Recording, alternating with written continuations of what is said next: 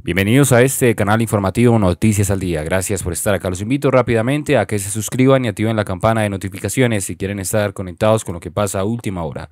Rusia inicia ejercicios militares en Bielorrusia. Rusia inició maniobras militares en polígonos del ejército bielorruso, según el Ministerio de Defensa ruso. No olvide dejar un comentario en este video y un me gusta también para apoyarnos. Muchísimas gracias. Efectivos de las fuerzas rusas emplazadas en Bielorrusia inician este jueves ejercicios militares tácticos en polígonos del ejército bielorruso, informó el Ministerio de Defensa de Rusia en su canal. Los ejercicios que se llevan a cabo a nivel de compañía tienen como objetivo mejorar la coordinación de las unidades, según el comunicado castrense. Los militares efectúan prácticas de tiro con armamento ligero, eh, estudian medicina táctica y otras disciplinas, añadió Defensa, que precisó que los efectivos rusos forman parte de la agrupación militar regional ruso-bielorrusa. Eh, en octubre pasado, el presidente de Bielorrusia, Lukashenko, anunció que había acordado con su homólogo ruso Putin el despliegue de un grupo regional conjunto de tropas por el agravamiento en las fronteras occidentales de la Unión Estatal. Según Minsk, el número total del componente ruso del grupo está formado por hasta 9.000 militares, unos 170 tanques, hasta 200 vehículos blindados de combate y hasta 100 cañones y morteros con un calibre de más de 100 milímetros. ¿Qué opina de esta información? Nuevamente los invito a suscribirse y activar la campana de notificaciones. Gracias por estar acá. Noticias al día. Como en todo conflicto armado, eh, hay intereses de países externos. Por, en este caso, por ejemplo, la invasión a Irak de Estados Unidos tenía un interés propiamente por el petróleo y la venganza contra Saddam Hussein y el tema del Medio Oriente. Y siempre hay un, en medio de todo, hay un interés económico, sobre todo de las grandes potencias.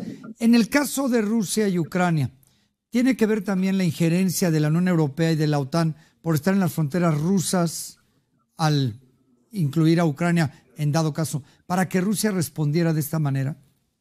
Uh, la única cosa que quería Rusia es uh, pues, eliminar Ucrania como tal, la nación ucraniana que está haciendo cada día lanzando miles de cohetes, uh, proyectiles y misiles a las cabezas de los civiles, también cometiendo los crímenes de la guerra, crímenes contra la humanidad y mismo eh, eh, genocidio contra la nación. Y los países que están ah, alrededor de Ucrania, especialmente en Europa, son justamente que tienen interés, tienen interés de ah, establecer ah, la seguridad en su propia región. Pues que esos países que están enviando a Ucrania las armas, están financiando uh, el apoyo uh, social para todos los ciudadanos ucranianos, ellos uh, no están regalando su, su, su, su, dinero o su, técnica ofensiva, sino están invirtiendo en su propia seguridad. Ellos entendieron que el ejército ucraniano puede ganar en esta batalla y pues ya ha mostrado muchas veces que, por ejemplo, en dos semanas nuestro ejército ha regresado, eh, de, devuelto pero, nuestros pero, territorios, liberado más de 450 uh, ciudades, pueblos ucranianos, como 10 mil kilómetros cuadrados. Déjame interrumpirlo otra vez, nada más porque me quedan dos minutitos, pero ¿no cree usted que hay algún interés de la Unión Europea por el gran ucraniano o por el petróleo o los gasoductos, como para de alguna manera tener una injerencia y ocasionar esta invasión rusa? No hay excusas para una invasión de un país a otro país. No hay ninguna invasión porque nosotros, ah, como Ucrania, siendo ah, el granero de Europa, siempre estamos enviando a, todo el mundo, especialmente en Asia África, el trigo ucraniano. Hasta la bandera de Ucrania se compone de dos pistas azul y amarilla que representa el cielo y, y campos del trigo. Estamos dispuestos y pues ya estamos comerciando con todo el mundo sin ningún problema antes que, ah, hasta que llega Rusia en, nuestro territorio. Y ahora está quemado como un millón y medio de hectáreas de nuestros campos con el trigo.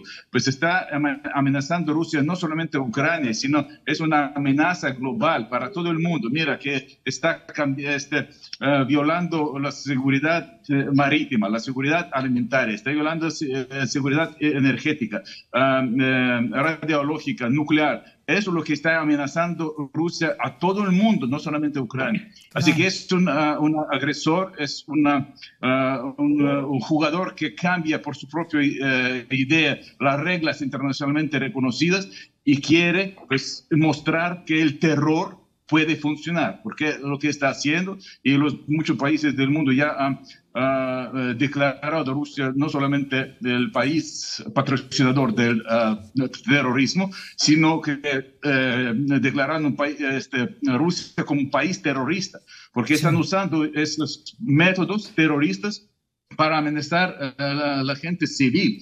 Uh, pues ya han heridos muchísimos, muertos miles de, de, personas civiles aquí. Rusia está destruyendo uh, todo el sistema, uh, todo el sistema de, de, energético, energético, del país. Sí. El pues sistema de abastecimiento de agua y todo. Y hay que detenerlo, hay que explicarlo. Sí. Que no puedes, eh, no, pero ya no puedes explicarlo, ya tiene que expulsarlo. Y por eso, sí. con eso estamos trabajando con todo el mundo.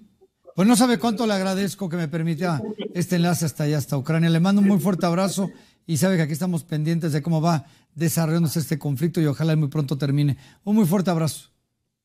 Ojalá que pronto termine, pero saben, el himno nacional mexicano que dice que en cada soldado, en cada, en cada persona, un soldado le dio, con el grito de guerra y todo. Ya, nosotros ya estamos viviendo esas palabras, no solamente declarándolo. Así que eh, México, los mexicanos pueden entendernos mejor. Ellos como Ucrania, como uno, pues nosotros reunimos y uh, estamos apoyando a nuestro ejército, toda la población civil. Así que juntos nosotros seguro que vamos a, a ganar, vamos a vencer y con el apoyo internacional también.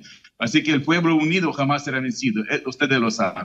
Le mando un abrazo muy fuerte. Muchas gracias. Muchas gracias. Muchas Hasta gracias. pronto. Él es el representante especial para América Latina y el Caribe de la Cancillería ucraniana. Así están las cosas allá en Kiev desde el punto de vista ucraniano. En fin.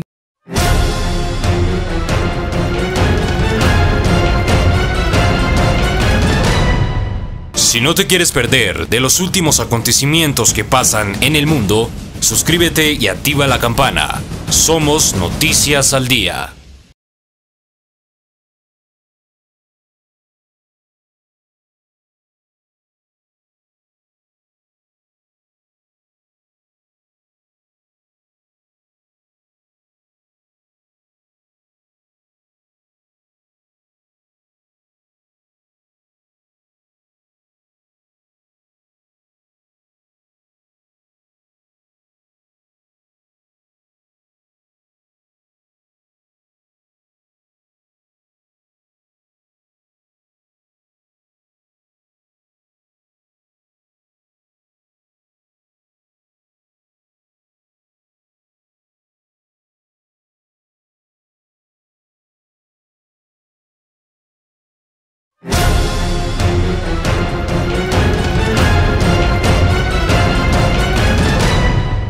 Si no te quieres perder de los últimos acontecimientos que pasan en el mundo, suscríbete y activa la campana.